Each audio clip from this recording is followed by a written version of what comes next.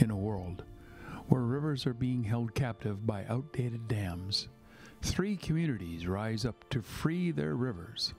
Several uh, individuals in the community decided that we needed to do something with the area around the river.